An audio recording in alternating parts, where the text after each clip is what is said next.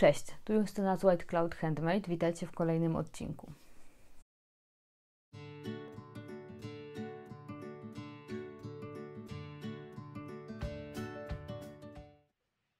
Witam się z Wami w kolejnym odcinku po nieco dłuższej przerwie niż zakładałam, ponieważ w lipcu pojawił się vlog z mojego wyjazdu urlopowego i to miał być początek e, filmów na moim kanale po przerwie, ale niestety życie pisze swój scenariusz i w związku z wymianą okien, która miała miejsce u mnie w domu e, i trwającym, przedłużającym się remontem z tym związanym, e, w zasadzie od e, wczorajszego dnia mam z powrotem swoją pracownię dostępną na tyle, żeby móc dla Was znowu nagrywać.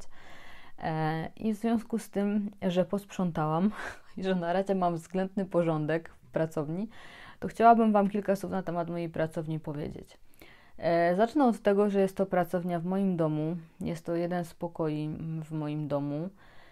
E, z jednej strony jest to całkiem spore miejsce, z drugiej strony mm, nie do końca, ponieważ ja oprócz szycia zajmuję się również fotografią e, i mam mnóstwo różnych pomysłów e, i pasji. Na przykład e, szydełkuję, na przykład maluję akwarelami i nie tylko. Mm, na przykład od czasu do czasu się bawię w makramę.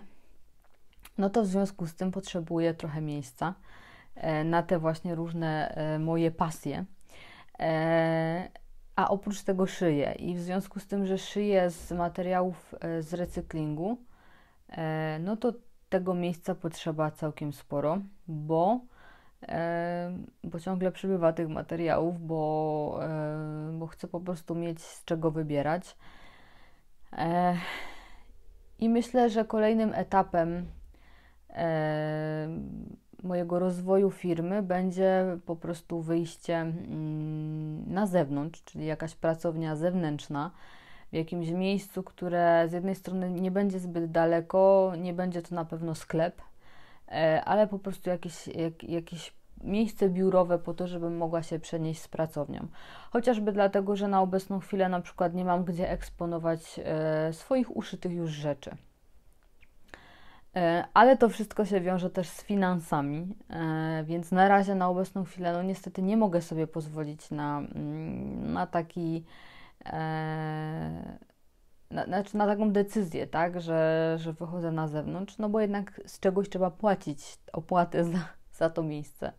Ale mam nadzieję, że, że po prostu przyjdzie taki moment prędzej czy później, że spokojnie będę sobie mogła pozwolić na, wynajem miejsca, dlatego że też e, za jakiś czas być może pokój będzie potrzebny e, do naszych użytków rodzinnych, tak to ujmę.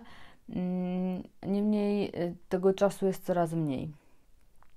Mm. I myślę, że tyle z wprowadzenia bo jakby no, na, na obecną chwilę tyle wystarczy. I chciałam Was po prostu zaprosić na taki mały tour po mojej pracowni. Wiem, że jakiś czas temu, jeszcze jak nagrywałam, pojawiały się pytania, e, jak ja przechowuję materiały, z czego korzystam, co, je, co jest sprawdzone, więc postaram się dzisiaj na te pytania Wasze odpowiedzieć. Ale najpierw pokażę Wam, e, pokażę wam pracownię co gdzie jest, co gdzie się znajduje. E, a później jeszcze jak, jak pojawią mi się w międzyczasie jakieś, mm, jakieś pytania i odpowiedzi, to też e, nagram taki e, właśnie taki fragment o tych dodatkowych pytaniach i odpowiedziach. To, co na początek, to tutaj za mną widzicie dwa biurka. Zasiedzę jedno biurko i stół z maszyną. E, ja pracuję teraz już na maszynie przemysłowej, więc maszyna ma swój stół. Jest ona ciężka. E, ciężko się ją przestawia w pojedynkę, e, ale jakby to jest podstawa mojej pracy. I teraz przenoszę, przeniosę się z, z drugiej strony aparatu i będę Wam po kolei pokazywać te moje miejsca w pracowni. Tutaj mam właśnie moją maszynę na stole i nad nią tutaj takie motywacyjne różne motywy. I e, taką tablicę, którą tu widzicie w całości. To jest tablica e, z Ikei i powiem Wam, że na takie właśnie rzeczy jak e, nitki, jakieś guziki, detale, mm, nożyczki jest to super rozwiązanie. Także jeśli ktoś się zastanawia, jak sobie posegregować właśnie te różne gadżety szyciowe, no to myślę, że to jest świetne rozwiązanie. Drugi stolik to są moje dwie maszyny, e, Overlock i maszyna domowa. Overlocka używam w zasadzie e, na co dzień w szyciu, natomiast jeśli chodzi o tą maszynę tutaj, to jest Janome e, i ja tą maszynę najczęściej używam do wykańczania detali. Jak na przykład potrzebuję zrobić guziki, to właśnie dziurki obszywam, ponieważ tutaj mam różnego rodzaju stopki, które nadają się właśnie do takich do takich rzeczy, jak choćby obszywanie dziurek. Jak potrzebuję jakiś ścieg ozdobny wykorzystać, to również tutaj korzystam z tej maszyny, bo, yy, bo ma ona właśnie ściegi ozdobne. Tutaj mamy biureczko. To jest moje biurko e, bardziej fotograficzne. Tutaj pracuję nad e, właśnie różnymi materiałami mm, zdjęciowymi, ale także na przykład nad e, tworzeniem postów e, i, i planowaniem publikacji i tak dalej. To moja część taka komputerowa. Tam e, z tyłu mam wszystkie wykroje e, już odrysowane. I wiecie, biurowe rzeczy. Tutaj e, mam witrynkę, są książki i głównie rzeczy związane z fotografią, jakieś aparaty, e, albumy dla, dla klientów, albumy pokazowe i tak dalej, i tak dalej. Każdy metr wykorzystujemy. Tutaj mój, y, moja głowa do prezentacji różnego rodzaju opasek, czapek. I najważniejsza rzecz, czyli tutaj mam wszystkie wykroje, które, y, z których które kupiłam kiedykolwiek, y, ze strefy kroju i szycia. One są powkładane do takich kopert i opisane. Tutaj mam kulkę silikonową i watolinę. Czasami wykorzystuję, mam to pod ręką, po to, żeby właśnie móc e, w razie czego skorzystać, nie musieć szukać albo specjalnie zamawiać, to mam w takich, takiej niedużej ilości. I teraz przechodzimy na najważniejsze, na, do najważniejszego e, elementu, najważniejszej części. Tutaj na górze mam pudełka do opakowania. Hmm, tutaj są żarówki do oświetlenia, ponieważ zbliża się jesień i za niedługo będę się musiała na filmach doświetlać. E, pudełko z foliami, to jest recykling, wszystkie folie, które, w których przychodzą mi jakieś e, paczki, e, pakuję właśnie do tego pudełka i tam mamy pudełko wypchane dresówką, taką grubszą. Ten regał cały tutaj, który widzicie, to są moje materiały, moja bawełna. Jak widzicie, nie jest to super poukładane, bo bawełny takiej pociętej nie da się poukładać od linijki, więc tu co nieco wystaje. Także tutaj mam wszystkie materiały, z których korzystam na bieżąco. Tutaj mam e, resztki, ścinki, takie wiecie, niewielkie kawałki. E, no i dalej tutaj firanki, z których szyję woreczki mm, i piętro niżej, tam nie będę już odsuwać, ale tam też mam jeszcze właśnie takie jakieś materiały, które e, są do wykorzystania, jakieś tam na poduszki, pikówki, takie rzeczy. Tutaj pudełko z tłami, z papierem do odrysowywania wykrojów i stół.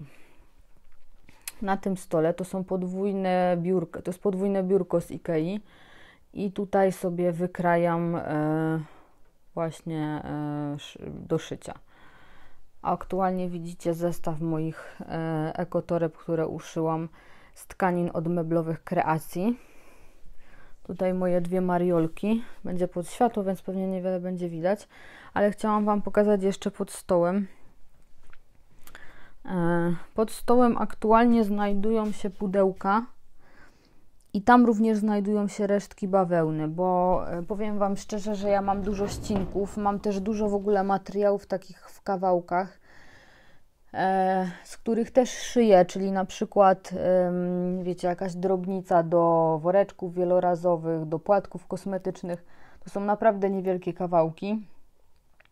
No i w związku z tym, żeby nie było takiego bałaganu, jaki miałam do tej pory, bo wystarczyło, że wyciągnęłam jakiś, jakąś jedną, jeden kawałek bawełny i reszta wylatywała, no to po prostu postanowiłam to właśnie do takich pudełek powkładać. Wszystkie pudełka plastikowe, które mam u siebie, to są pudełka z Action. E, świetnie się sprawdzają, mają wprawdzie klapkę, więc nie zawsze się zamykają, ale, e, ale jak dla mnie są spoko. I jeszcze tutaj przybornik kuchenny, w moim przypadku e, taki wózeczek podręczny. Tu mam zamki i gumki, tutaj mam mm, jakieś tam lamówki, takie koronki, takie rzeczy. I na górze podręczne, czyli moje obciążniki. Tu mam e, do, mm, do spinania wykrojów jakieś tam sznureczki, prójki, e, mydełka i tak dalej. I to jest fajne, bo mi się to właśnie wsuwa tutaj pod, dzięki czemu mam tutaj przejście. Także tak to wszystko wygląda. Wiecie, no nie jest idealnie. Aha, jeszcze co mam? Tam mam kącik statywów. No i oczywiście y, stacja paru, parowa i deska do prasowania. Tak to wszystko wygląda. E, jeden kwiatek nie przeżył e, naszego remontu, także jak macie pytania, a o tym regale nie powiedziałam, słuchajcie, tutaj mam wszystkie uszyte rzeczy, które e, są dostępne. Nie wszystkie są wrzucone do internetu, do sklepu, ale mam nadzieję, że tej jesieni znajdę czas, żeby to pouzupełniać. Tutaj też jakieś tam resztki pozostałości po, po szyciu dla dzieci.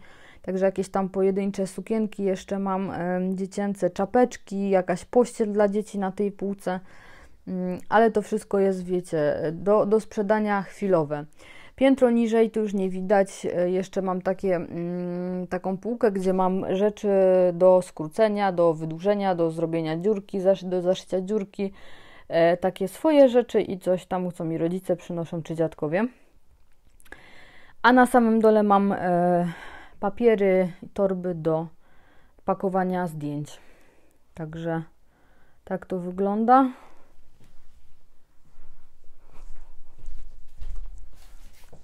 Pokażę Wam jeszcze tak w całości, jak pokój wygląda. Wydaje się, że jest całkiem duży, ale wiecie jak to jest, nie? Im więcej rzeczy, tym pokój mniejszy. Także macie jakieś pytania, to pytajcie. możecie zostawiać komentarze pod, pod filmem, a jeśli chcecie może bardziej prywatnie, to serdecznie zapraszam Was e, na mój Instagram. E, tam możecie pisać wiadomości też. E, oprócz tego w ogóle zapraszam Was na mój Instagram. Kciuk w górę. Obserwujcie właśnie Instagram, obserwujcie e, kanał na YouTubie. Mam nadzieję, że już wracam regularnie. Proszę Was też o trzymanie kciuków i doping, bo to na pewno się przyda. E, no i jeśli macie jakieś propozycje do, co do nagrywania filmów, to też zostawcie je, bo wiecie, to jest tak, że ja mam jakąś pulę pomysłów, która w pewnym momencie się wyczerpuje, ale też chciałabym nagrywać po prostu e, filmy, które Was interesują. Więc, yy, więc zostawiacie swoje propozycje. Ja wiem, że jest yy, propozycja nagrania filmu, jak uszyć opaskę na głowę z prążka bawełnianego. I taki film niebawem się pojawi, także dla wszystkich, którzy czekają, mm, niebawem taki film będzie na kanale. E, ja za dzisiaj Wam dziękuję. Mam nadzieję, że Wam się podobał taki przegląd mojej pracowni. E, no i do zobaczenia w następnym filmie.